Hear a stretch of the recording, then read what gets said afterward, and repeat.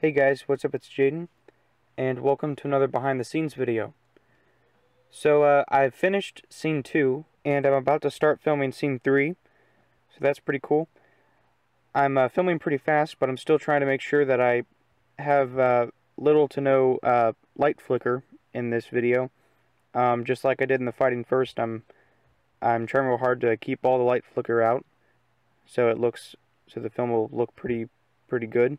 And I just built uh, several Union soldiers here that I'm about to use, and uh, you can see they have um, on their on their torsos they have some uh, printing on the front. Um, but in this next shot, they're going to be filmed from the back. Um, so in in my films, whenever I need, or at least with the Civil War video, whenever I need uh, to show someone from the back, I'll switch the torso around so the printing will be on the front and then when they need to be seen from the front I'll switch the torso back around so the printing will be on the back. Um, so that's what I've been doing with the Union and Confederate soldiers in this movie because I don't have very many uh, accurate like torsos for them so I've just been switching the torsos around whenever I when they need to be uh, seen from the front or back.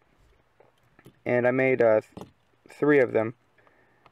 And this one has a Japanese Arisaka with the bayonet. Uh, of course, they didn't actually have those back then, um, but I'm just using this one for the bayonet uh, part of it. And uh, this one has a lever action rifle, and then this one has a, uh, a musket.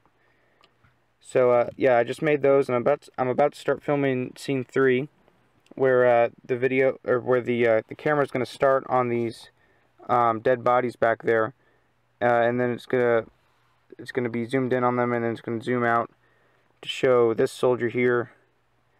And uh, yeah so I can't wait for you guys to see this video and I'll play a clip here of some of the footage that I have so far.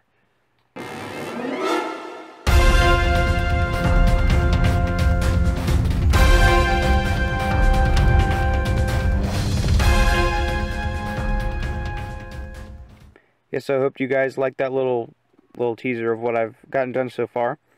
And I'll see you guys next Friday with another behind the scenes video. Bye.